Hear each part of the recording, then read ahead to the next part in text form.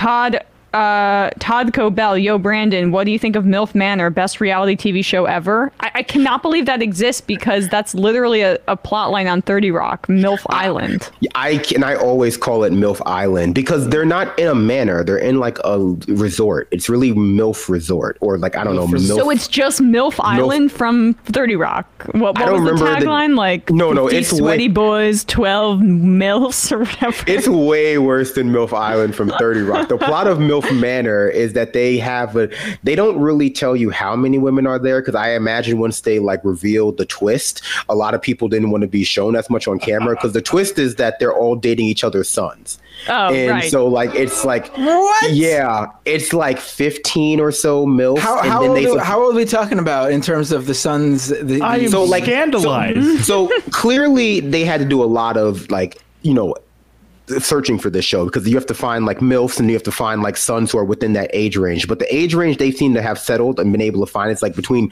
20 and like 34 for the sons. But some of the milfs are some of the milfs are only as old as like 43 so i really wouldn't claim that's like you know a big difference between the oldest Gotcha. like Uh, if- oldest if we're I don't know. talking, if we're talking the late to the, the mid to late twenties and the, ear- the early thirties sons, that's that's okay. But Yeah. a twenty year old with a forty three year old milf, It's a- uh, yeah, I don't know. About It's a that one. scandal.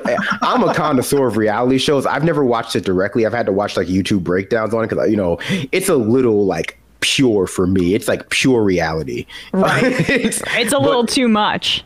I'm surprised it's taken us this long to get MILF Manor. I think this is I, like I a can't perfect. believe how naturally we're saying the word MILF here. Like, well, oh, they had to find the MILFs, and once they found the MILFs, it's I say MILF all the time. very weird. I, you know, I say MILF all the time. MILF It's- we're- auditions here. like we're we're a long way away from MILF Hunter. So you know, it's you know, it's 15 years later. MILF is just a general term now.